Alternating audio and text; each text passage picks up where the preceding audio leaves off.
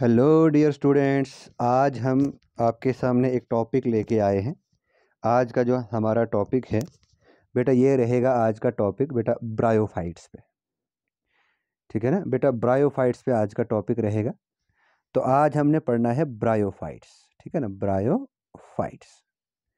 ठीक? Let me tell you if we if we talk about bryophytes the bryophytes have been derived from a Greek words bryon ठीक है ना? Bryon का मतलब होता है माउस ब्रायोन का मतलब होता है mouse and the second term is that is phyton this phyton means this phyton means plant और we can say that bryophytes are known as they are also known as mosses ठीक है ना? अब this is the group of the simplest and primitive primitive plants इसमें क्या आते हैं? इसमें आते हैं बेटा सिंपलेस्ट और प्लस आते हैं प्रिमिटिव प्लांट्स। मतलब एंशियन टाइप प्लांट्स आते हैं, ठीक है ना? और इसको ब्रायोफाइट्स को किस क्लास में रखा गया है बेटा? ये बात भी आपने याद रखनी है, ब्रायोफाइट्स को रखा गया क्लास एम्ब्रियोफाइटा में। किसमें रखा गया है? क्लास एम्ब्रियोफाइटा में ब्रायोफाइट्स को रखा गया है। आई बात समझ? अच्छा उसके बाद अगर हम आगे बढ़ेंगे, आगे क्या बताएँगे? इसमें याद रखना ये जो ब्रायोफाइट्स है इट टेक्स अ पोजीशन एक इंटरमीडिएट पोजीशन ऑक्यूपाई करता है।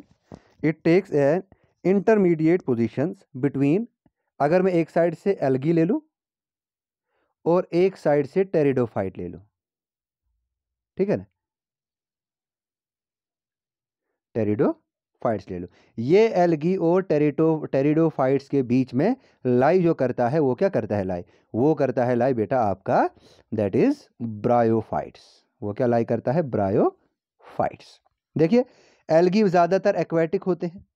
टेरिड जो टेरिडोफाइट्स हैं, ये जो ज़्यादातर क्या कहते हैं टेरिस्टल होते हैं। अगर हम ब्रायोफाइट्स की बात करेंगे तो ब्रायोफाइट्स के लिए दोनों चीज़ें पॉसिबल हैं। मतलब इसके लिए दोनों चीज़ें होनी चाहिए। यह अपना कुछ फ़ेज़ एक्वेटिक में भी ले लेता है और कुछ फ़ेज़ जो है ये टेरिस्टल में भी लेता है। आई बात समझ?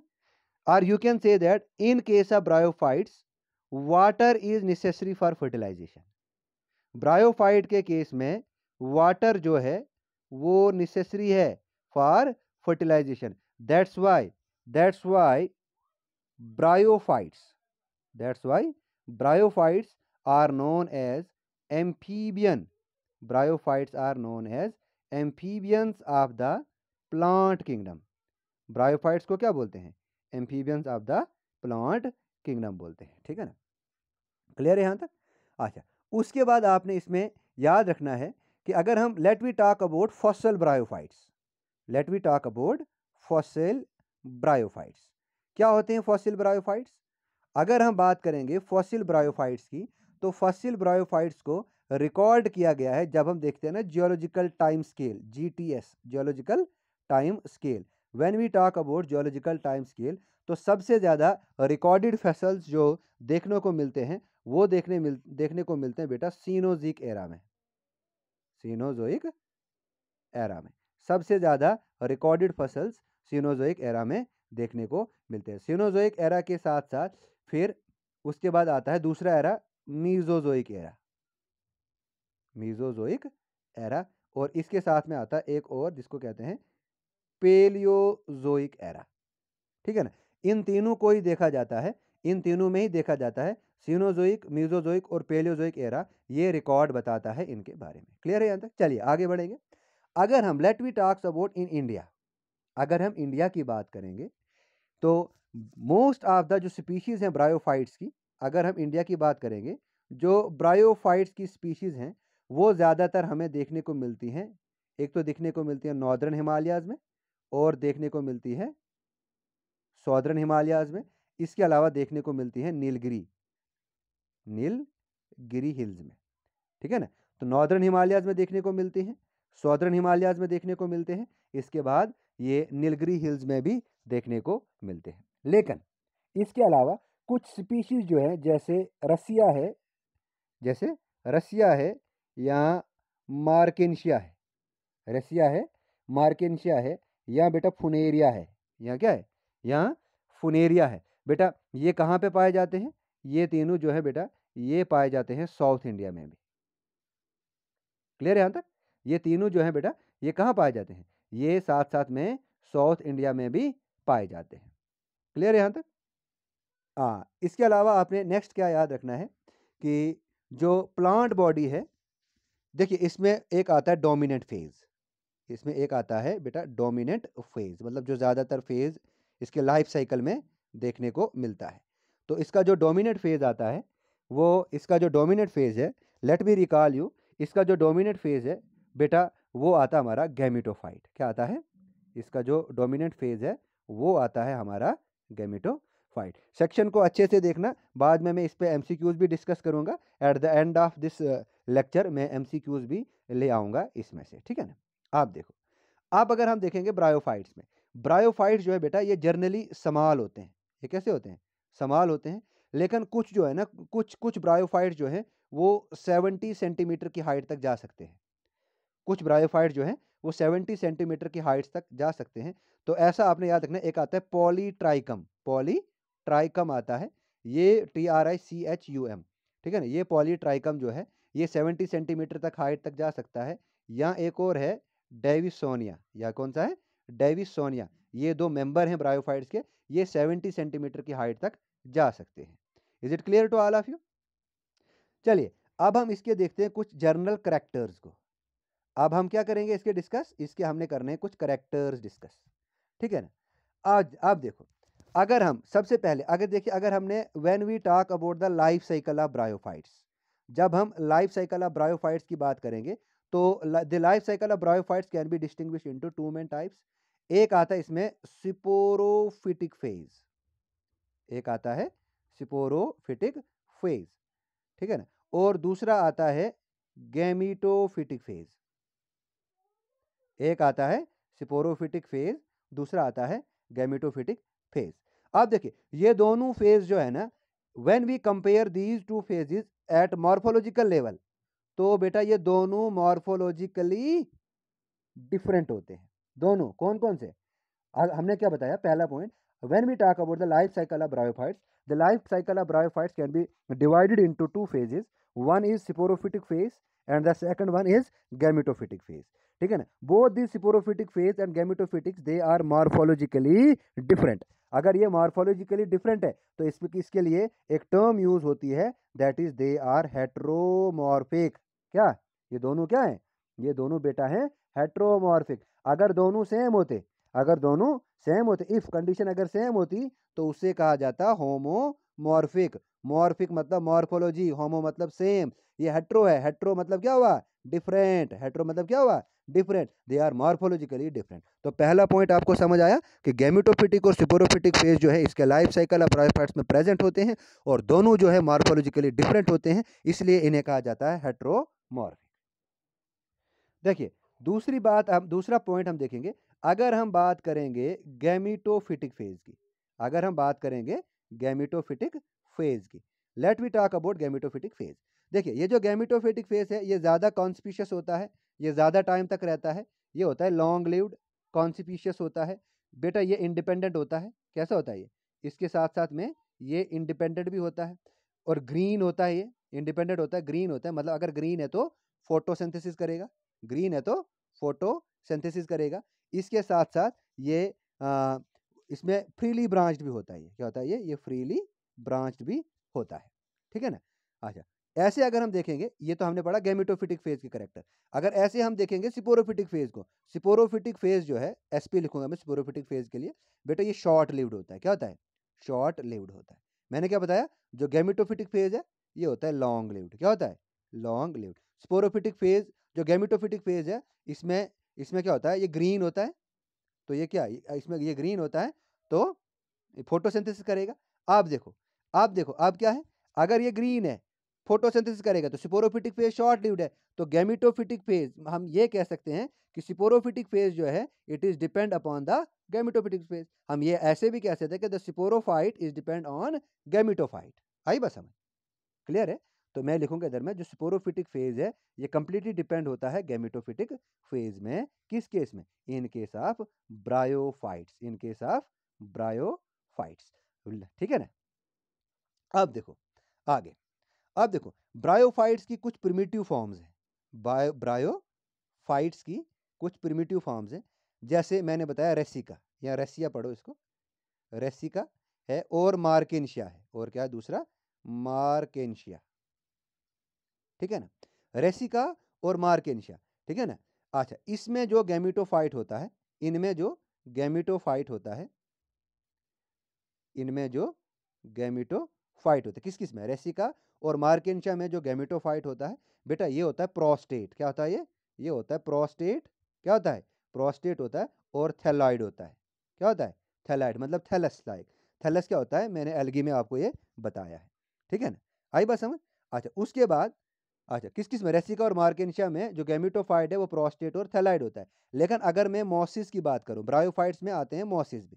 ठीक है ना? मोसिस की जो बॉडी है, मोसिस की जो कौन सी बॉडी प्लांट बॉडी मोसिस की जो प्लांट बॉडी है, ये डिफ्रेंशिएटेड होती है स्टेम में। ये डिफ्रेंशिएटेड होती है स्टेम में, ठीक है ना? और स्टेम मतलब इसमें कुछ एक्सिस जैसा होगा, ठीक है ना? इसके साथ साथ इसकी जो बॉडी होती है, इसमें होते हैं लेटरल अपेंडेजेस क्या होती है? इसमें होती है लेटरल अपेंडेजेस ठीक है ना? जो इसकी प्लांट बॉडी है, इसमें स्टेम एक एक्सिस होता है और होते हैं साथ साथ में लेटरल अपेंडेज लेकिन किसकी बात हम करेंगे? जब हम बात करेंगे तो मोसिस की। क्लियर है यहाँ तक? आगे बढ़े। देखिए आप। अगर हम देखेंगे in case of bryophytes true root bryophytes में ट्रू रूट जो है बेटा, ये होती है एबसेंट ब्रायोफाइट्स में ट्रू रूट नहीं होती है। लेकिन रूट लाइक स्ट्रक्चर्स होता है, जो बेसिकली एक फिलामेंटस स्ट्रक्चर है। क्या है? इसके अलावा ट्रू रूट के अलावा इसमें प्रेजेंट क्या है फिर? इंस्टेड ऑफ़ दिस इसमें होता है राइजॉइड प्रेजेंट क्या होता है इसमें? इसमें होता है राइजॉइड प्रेजेंट। ठीक है ना? इस राइजॉइड का क्या काम है? इस राइजॉइड का काम है, इसका फ़ंक्शन क्या है? एब्जॉर्प्शन और एनकोरेज। इसके दो कवम हैं, एक है एनकोरेज और एब्जॉर्प्शन। ये दो काम किसके हैं? राइजॉइड्स के। हैं अब देखो, अगर हम बात करेंगे इस राइजॉइड्स की, हम किसकी बात कर रहे हैं? Instead of roots rhizoids are present in case of bryophytes तो देखो, ये राइजाइड्स जो है, ये, एक तो ये यूनिसेलुलर होगा।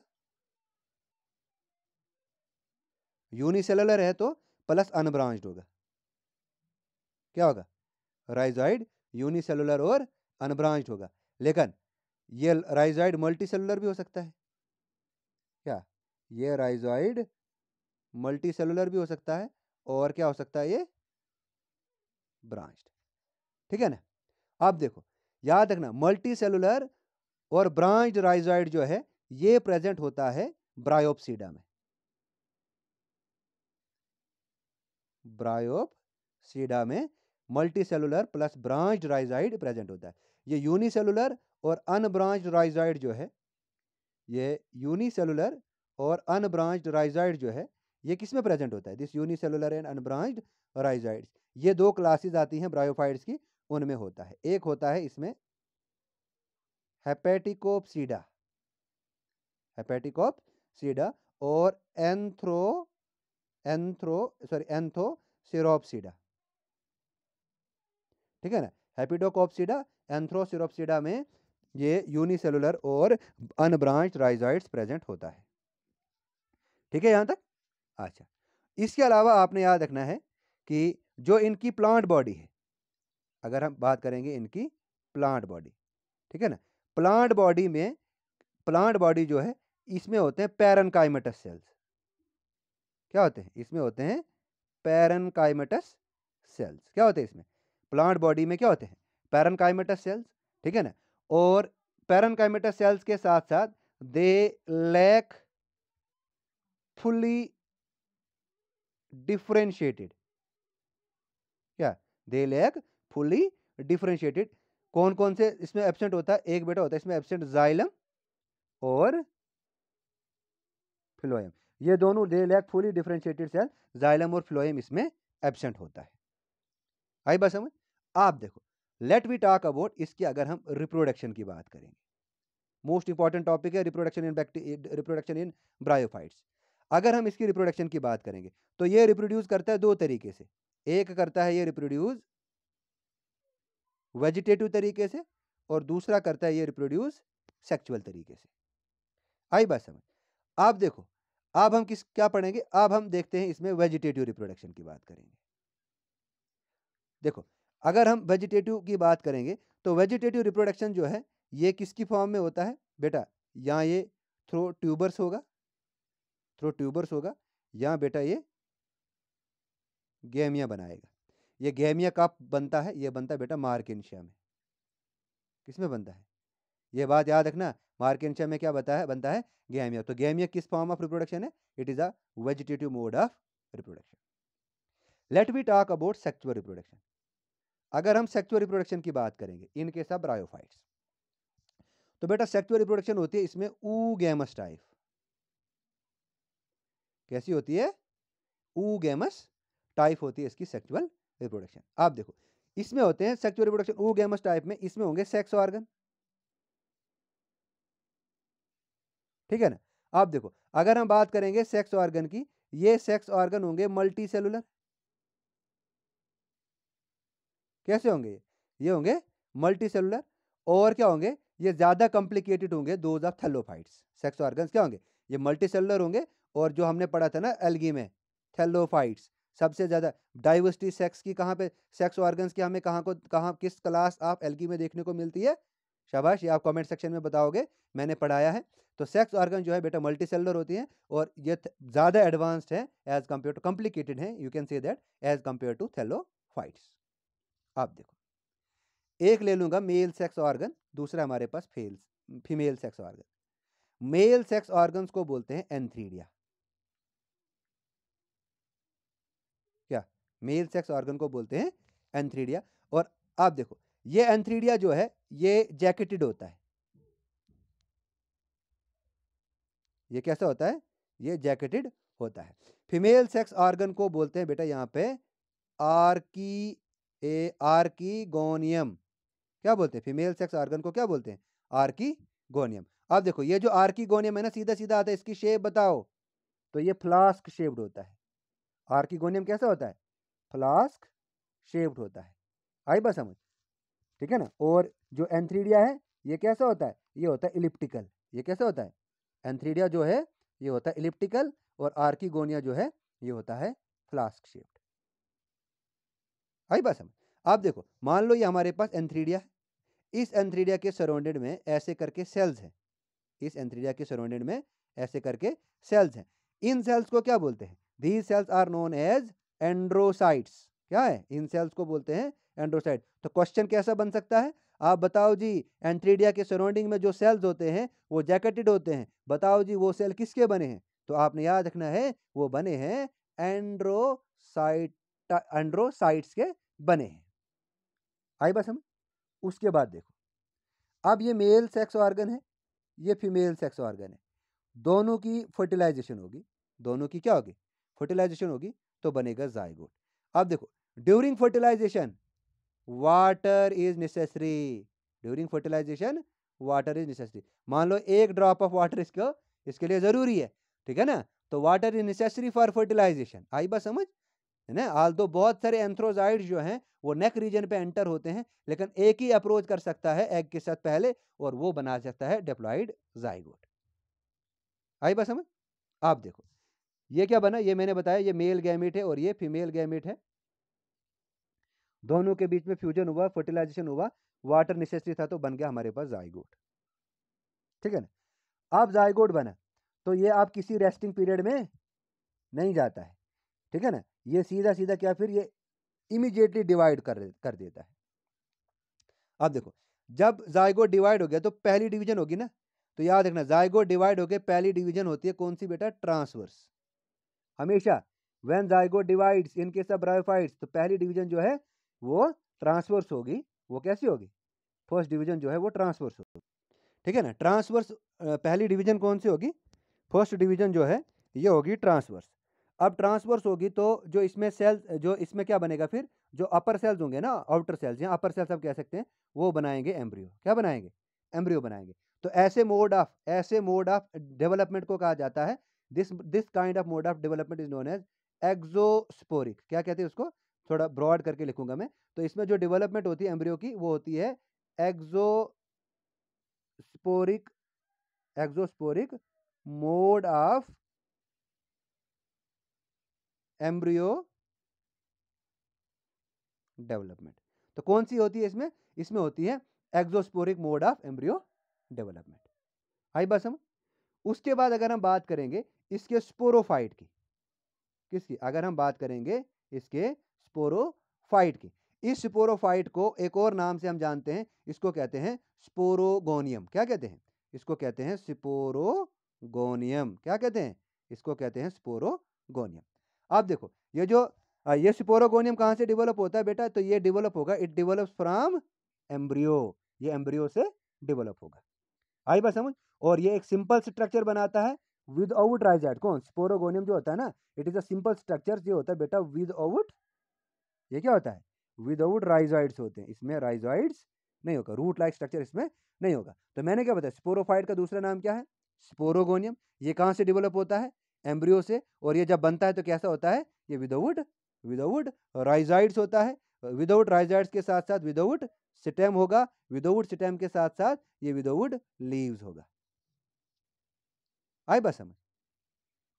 उसके बाद, देखिए, ये जो सिपोरोफाइट है ना, ये जो स्पोरोफाइट है, या जिसको मैंने बोला स्पोरोगोनियम, ये कंप्लीटली डिपेंडेंट होता है। ये मैंने क्या बताया? ये कंप्लीटली डिपेंडेंट होता है। ये कंप्लीटली डिपेंडेंट होता है। This sporophyte is completely depend on gametophyte. ये किस पे कंप्लीटली डिपेंडेंट है? ये कंप्लीटली डिपेंडेंट है गैमिटोफाइट पे। अब देखो अब इस सिपोरोफाइट में कुछ प्रोजेक्शन स्ट्रक्चर्स निकलेंगे। तो अगर मैं बात करूँ सिपोरोफाइट की तो स्पोरोफाइट में तीन तरह की प्रोजेक्शन निकलते हैं। मतलब तीन स्ट्रक्चर्स यहाँ पे डेवलप होंगे, ठीक है ना? तो कौन कौन सा स्ट्रक्चर यहाँ पे डेवलप होगा? तो देखिए, अगर हम बात करेंगे तो सबसे पहले होगा इसमें फुट डेवलप। क्या होगा? फुट फुट के बाद इसमें सीटा डेवलप होगा और क्या डेवलप होगा? और इसमें डेवलप होगा कैप्सूल। ठीक है ना? तो फुट सीटे एंड कैप्सूल इनके सब सिपोरोफाइट इज़ प्रेजेंट आप देखो। आप देखो। देखिए, सिर्फ़ कैप्सूल किसमें होगा? ये याद रखना, ये एक्सेप्शन है। सिर्फ़ कैप्सूल है रेसिका में। आर आई डबल सी आई है रेसिया पढ़ो या रेसिका पढ़ो, एक ही बात है। कैप्सूल किसमें होगा? रेसिका में। या फुट एंड कैप्सूल, ये जो, फुट और कैप्सूल, सिर्फ़ कैप्सूल आ गया रेसिका में। Foot plus capsule. ये फुट और कैप्सूल जो है, ये किसमें है? कॉर, ये आया बेटा कॉर्सिनिया में। ये किसमें आ गया? कॉर्सिनिया में आ गया। आई बात समझ? अच्छा उसके बाद देखो, अब क्या होता है, ये जो इसमें सिपोरोफाइट का बना है, सिपोरोजीनियस सेल में, और ये जो सिपोरोजीनियस सेल है, ये बेटा क्या, मैंने क्या बोला, सिपोरोफाइट जो है, इसमें कौन से सेल है? Sporogenous cell. अब देखो ये जो स्पोरोजीनियस सेल है ना ये बेटा बनाते हैं हेप्लाइड स्पोर क्या बनाते हैं? ये हेप्लाइड स्पोर बनाते हैं। ठीक है ना? अब ये देखो ये जो हेप्लाइड स्पोर है ये जो हेप्लाइड स्पोर है बेटा ये नॉन मोटाइल है। क्या ये? ये नॉन मोटाइल है। ये मूवमेंट नहीं कर सकता। ठीक है ना? और जितने भी स्पोर्स हैं वो लगभग सेम शेप और साइज़ के होते हैं। आई बस हम अब देखो ये नॉन मोटाइल स्पोर जो है ना ये क्या होगा? ये विंड से ये विंड से ए, तो क्या होगा? डिस्पर्स होगा। ये विंड से डिस्पर्स होगा। अब देखो, जब क्या होगी? जब बेटा आएँगी फेवरेबल कंडीशन, क्या आएँगी? जब आएँगी फेवरेबल कंडीशन तो फेवरेबल कंडीशन में क्या होगा? फेवरेबल कंडीशन जब आएँगी, ये सिपोर जो है, ये यहाँ तो क्या बनाएगा? फिलामेंटस जोम ट्यूब बनाएगा? क्या? मैंने क्या बताया? ये सिपोर क्या बनाएगा? ये सिपोर बनाएगा, ये स्पोर बनाएगा फिलामेंटस जर्म ट्यूब क्या बनाएगा ये फिलामेंटस जर्म ट्यूब और ये फिलामेंटस जर्म ट्यूब जो है, बाद में क्या बन, बनाएगी? ये फिलामेंटस जर्म ट्यूब जो है, बाद में बनाएगी यंग गैमिटोफाइट क्या बनाएँगे? यंग गैमिटोफाइट बनाएगी। ठीक है ना? और ये जो यंग गैमिटोफाइट है, ये जो है क्या बनाएगा? यंग गैमिटोफाइट किसमें बनाएगी? रेसिका में बनाएगी मार्केशिया में बनाएगी। या अगर हम मोसिस की बात करेंगे, मोसिस में जो यंग गैमिटोफाइट है, उसको बेटा कहा जाता है प्रोटोनीमा। क्या कहते हैं उसको? प्रोटोनीमा। और यंग गैमिटोफाइट किसमें आ गया? शाबाश! Young gametophyte. ये यंग गैमिटोफाइट आ गया रेसिका में। एक आ गया रेसिका में और दूसरा आ गया मार्केशिया में। एक आ गया रेसिका में, दूसरा आ गया मार्केशिया में। आई बस हम। अच्छा उसके बाद अगर हम ब्रायोफाइट्स की बात करेंगे, अगर हम ब्रायोफाइट्स की बात करेंगे तो ब्रायोफाइट्स में जो है सेक्स डिटर्मिनेशन जो है, ये मॉर्फोलॉजिकली डिस्टिंक्ट होती है। मतलब कैसी होती है? ये होती है हेट्रोमॉर्फिक सेक्स डिटर्मिनेशन कैसी होती है इसमें? Hetero when we talk about S D that is sex determination ये होती है हेट्रोमॉर्फिक और ये डिटरमाइन कौन करता है? याद रखना, ये डिटरमाइन होती है बेटा इन्वायरमेंटल फैक्टर की वजह से भी। क्या? Sex determination is also determined by environmental factors आई बात समझ? तो एनवायरमेंटल फैक्टर से भी डिटरमाइन होता है सेक्स और उससे भी डिटरमाइन होता है किससे? हेट्रोमॉर्फिज्म से भी सेक्स डिटरमाइन होता है। ठीक है ना? अच्छा उसके बाद अगर हम देखेंगे अच्छा उसके बाद अगर हम देखेंगे कि इसके जो लाइफ साइकिल है let we talk about life cycle of bryophytes let we talk about life cycle of let we talk about life cycle of bryophytes अगर हम ब्रायोफाइट्स के लाइफ साइकिल की बात करेंगे, देखिए, जो मेन प्लांट बॉडी है, वो क्या है? वो है बेटा गैमिटोफिटिक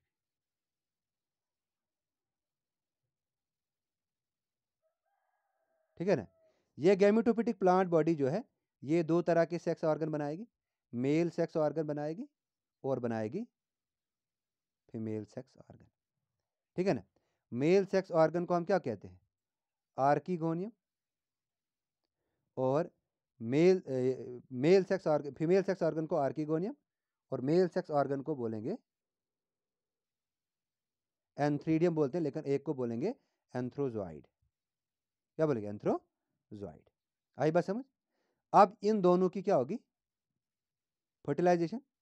ये भी हेप्लॉइड है, ये भी हेप्लॉइड है। तो बना जाइगोट। ये जाइगोट क्या है? To N. इस जाइगोट की होगी बाद में जर्मिनेशन। ठीक है ना? जर्मिनेशन के बाद क्या बनाएगा ये ये बनाएगा सिपोरोफाइट। ठीक है ना? सिपोरोफाइट बना। सिपोरोफाइट से क्या बनेगा? सिपोरोफाइट से बनेगा कैप्सूल। इस कैप्सूल से क्या बनेगा? इस कैप्सूल से बनेगा स्पोर मदर सेल एमसी मतलब मदर सेल। ठीक है ना? इस स्पोर मदर सेल की क्या होगी फिर? इसकी होगी मियोसिस। ठीक है ना? मियोसिस वन लिख लो। मियोसिस होगी। तो स्पोर मदर सेल क्या थे? ये थे डिप्लॉइड तक। यहाँ तक क्या था स्ट्रक्चर डिप्लॉइड था। इस स्पोर मदर सेल से फिर मियोसिस होके क्या बना? स्पोर बना। इस स्पोर की फिर से होगी जर्मिनेशन क्या हो गई? जर्मिनेशन होगी। ठीक है ना? ये स्पोर या तो डायरेक्ट मैंने बताया यंग गैमिटोफाइड बनाएगा, या ये बनाएगा पहले यहाँ क्या बनाएगा? शाबाश। जैसे मोसिस में बनाता है। प्रोटोनीमा ठीक है ना? और इस प्रोटोनीमा से गैमिटोफाइड बनेगा। क्लियर है यहाँ तक? यहाँ तक समझ आए अब देखो। अब अगर देखिए जाइगोड से लेकर स्पोर मदर सेल तक यहाँ तक जो है ना ये फ़ेज़ एक, एक let me change the colour ये जो ये वाला फ़ेज़ है यहाँ तक। इस वाले फ़ेज़ को ये जो गैमिट बना ना इसे कहा जाता है गैमिटोफिटिक जनरेशन ये कौन सी है? ये है गैमिटोफिटिक जनरेशन और ये वाली जो है ना ये, कहाँ से? जाइगोड से लेकर स्पोर मादर सेल तक। इसे कहा जाता है स्पोरोफिटिक जनरेशन क्या कहते हैं इसको? इसको कहते हैं स्पोरोफिटिक जनरेशन आई बात समझ? तो ये था हमारा diagrammatic representation of life cycle of क्या? Life cycle of this bryophytes ठीक है ना? तो ऐसे alternation of generation alternation of generation का मतलब क्या है? जो लाइफ साइकिल है ब्रायोफाइट्स का, उसमें रेगुलर अल्टरनेशन आती है। दो मार्फोलॉजिकल डिस्टिंग फ़ेज़ आ जाते हैं। ठीक है ना? दो मार्फोलॉजिकल डिस्टिंग फ़ेज़ आ जाते हैं। ये दोनों मार्फोलॉजिकल डिस्टिंग फ़ेज़ जो है, एक गैमेटोफिटिक फ़ेज़ है और डिफोरो दूसरा फ़ेज़ जो है, वो स्पोरोफिटिक फ़ेज़ है। इन दोनों में चेंजेस आती रहती है तो इसे इसीलिए इसको कहा जाता है कि alternation of generation is present in in case of bryophytes ठीक है ना? समझा यहाँ तक? आई होप कि यहाँ तक आपको समझ आया होगा। चलिए नेक्स्ट पढ़े, अब हम, अब हमने डिस्कस करना ये तो हमने पढ़ना कुछ करेक्टरिस्टिक्स फीचर्स पढ़े। नेक्स्ट हमारा आता है इसका क्लासिफिकेशन ऑफ़ ब्रायोफाइट्स नेक्स्ट क्या आता है इसका? नेक्स्ट आता है क्लासी क्लासिफिकेशन ऑफ़ ब्रायोफाइट्स देखिए, पहला साइंटिस्ट पहला साइंटिस्ट जिसने ब्रायोफाइट्स को क्लासीफाई करने की कोशिश की थी, वो था ब्रॉन। ब्रॉन साहब ने क्या कहा? 1864 ने में क्या कहा? अच्छा इन्होंने क्या किया? इन्होंने क्या किया? ब्रायोफाइट्स को पहली बार क्लासिफाई किया ब्राउन ने। इसने क्या किया था? इसमें इसने इंक्लूड किया एल्गी को भी फंजाई को भी लाइकन्स को भी और मोसिस को भी। बाद में क्या आया? बाद में आया लेटर सिस्टम ऑफ़ क्लासिफिकेशन बाद में क्या हुआ? बाद में एक सेपरेट ग्रुप बनाया गया। एक बनाया गया। थेलोफाइटा थेलोफाइटा में इन्होंने किस किस को रखा? थेलोफाइटा में इन्होंने तीन चीज़ को रखा। एल्गी को रखा। फंजाई को रखा। और लाइकन्स को रखा। किसमें? थेलो फाइटा में। इसके बाद एक और बनाया। ब्रायोफाइटा। क्या बनाया? ब्रायोफाइटा। इस ब्रायोफाइटा में क्या रखा? इसमें इन्होंने दो चीज़ें रखी। एक रखे लीवर रॉड्स और किसको रखा? और रखा मोसिस को। किस किस को रखा? लीवर रॉड्स को रखा और रखा मोसिस को। ठीक है ना? उसके बाद एक साइंटिस्ट आया जिसका नाम था इकलर।